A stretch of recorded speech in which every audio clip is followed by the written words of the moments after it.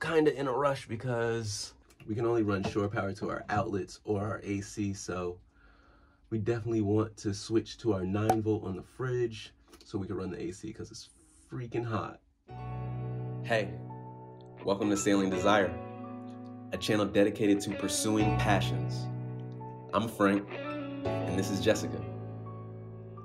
After getting fed up with corporate America, we decided to exit the rat race and live a life that prioritizes having experiences over having things. So if you're looking for some inspiration to pursue your passions and fulfill your desires, subscribe and follow along. Thanks.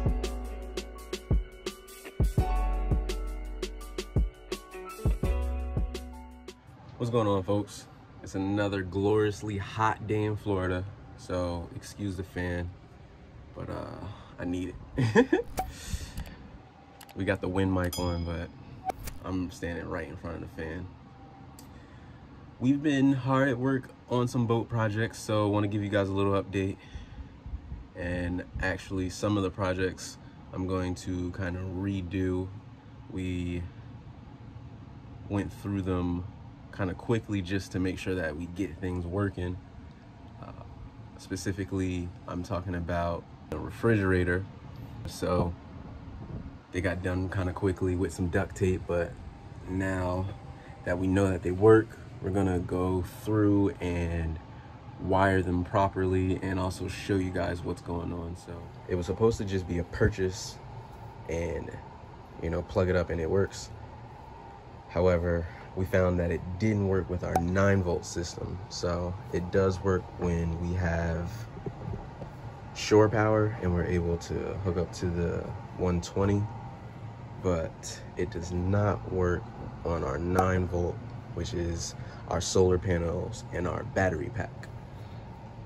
So we did some troubleshooting. We called Dometic customer support who was very helpful and we tried a couple different things. What ended up working for us was a thicker gauge wire. Uh, the 9 volt that's currently in our boat is only 18 gauge, so it's very thin and it's making a very sizable trip from here to our battery bank. Our battery bank is in the engine room, which this is our the beginning of the engine room. So it's probably six to eight feet behind this wall. And then it still has to travel along the wall. So for 18 gauge, that's really, it was not thick enough to carry the amps that this fridge needs. So we ended up getting a six gauge wire uh, here. This thing's pretty hefty uh, and it's 20 feet long and we just ran a test. We ran it directly from a breaker on the electrical panel to the Dometic and sure enough it turned on and the compressor ran. That was one of the main issues when we had it plugged up to our 9 volt system. The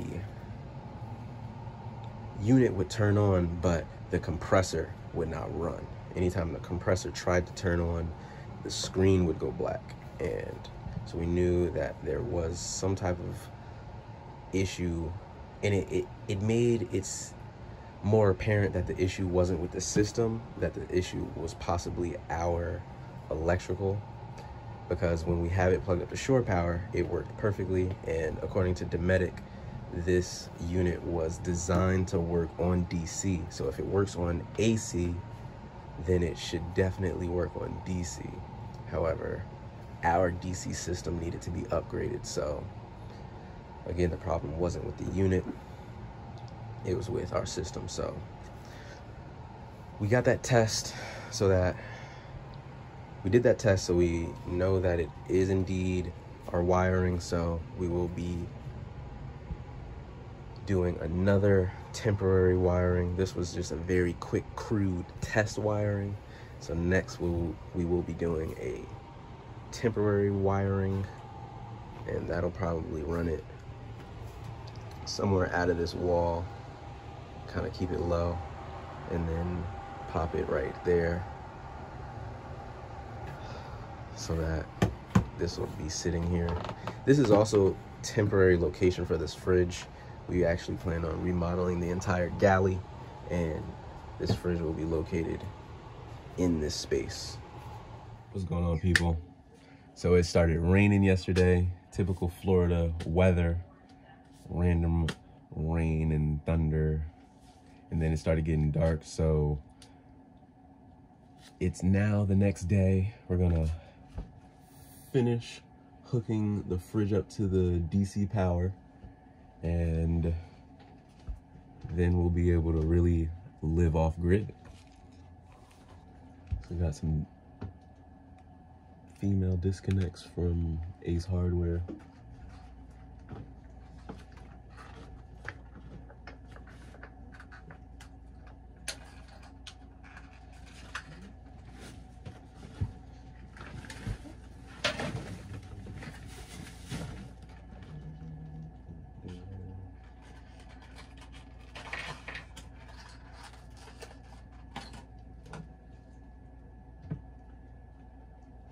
Went and checked to make sure that this wire was disconnected from our test run.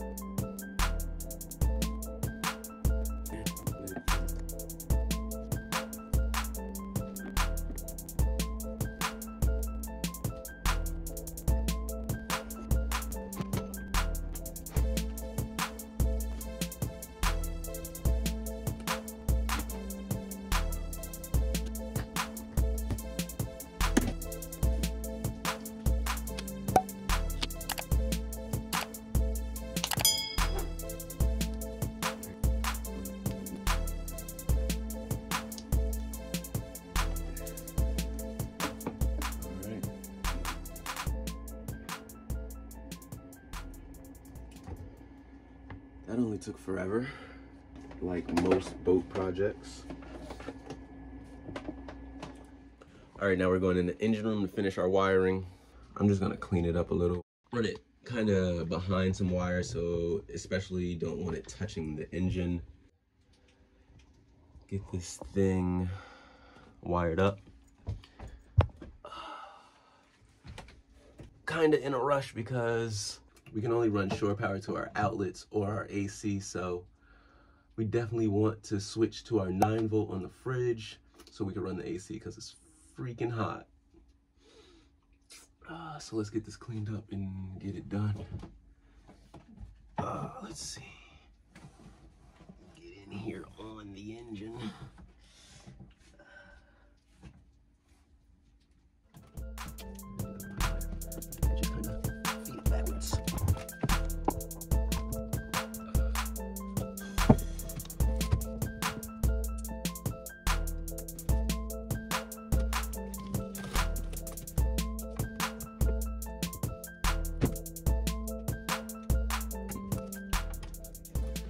Also just learning a lot about the boat the more I come into the engine room and check out all the behind the scenes things we got going on. Our steering cable looks like they uh, sanded this box down just so our steering cable could go through it. Very interesting.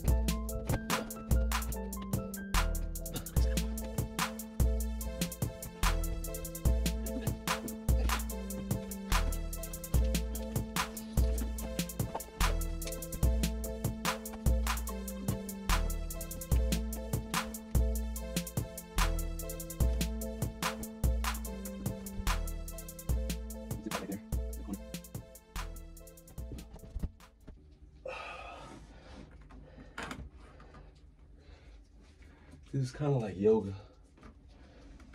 Hot yoga. oh.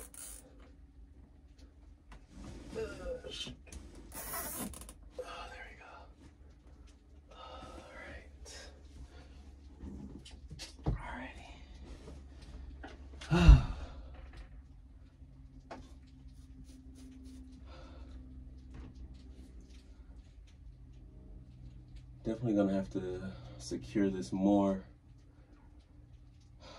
But for right now, we're gonna get this wired up so I can turn the air on and then we'll come back and secure it with the air on. I think that'll be a little more comfortable because it's freaking hot. All right, let's wrap this up. I got the connectors on. Let's get in here and get it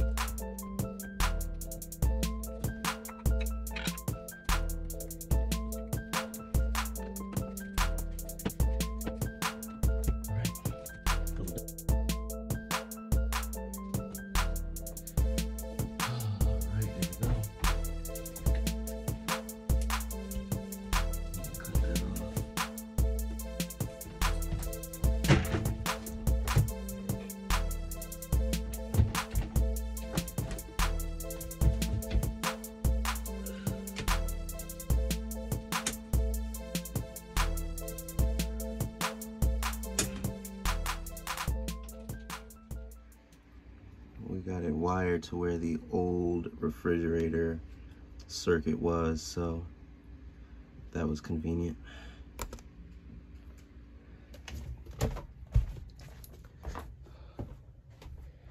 We're gonna turn this off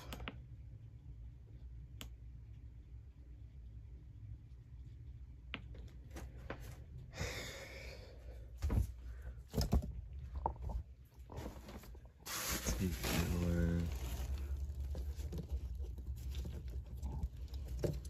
this is our shore power AC cord. Take that out of there. This is the DC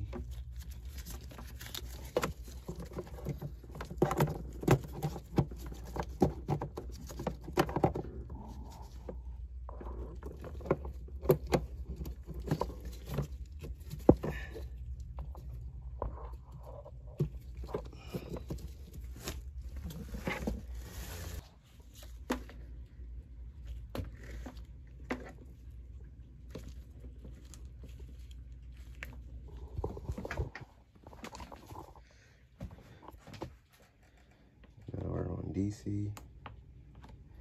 There we go.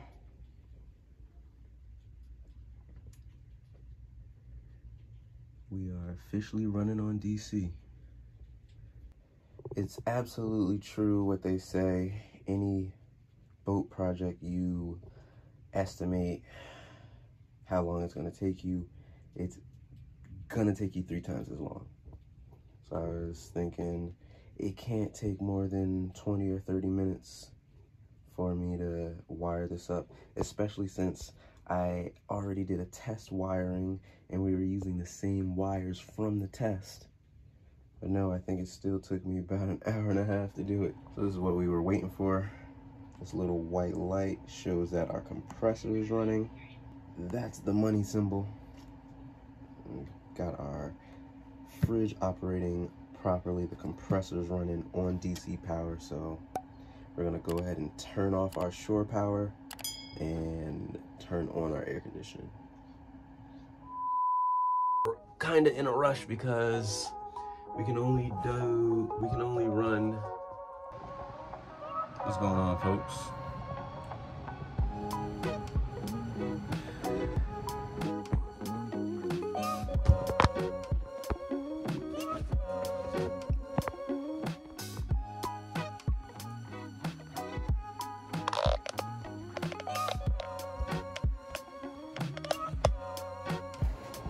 Fridge. Dometic CFX 75 liter. I really do need a sponsorship from Red Bull because I love Red Bull. Really can't get down with coffee. I drink coffee every now and then, but Red Bull is really where it's at. Uh, anyway,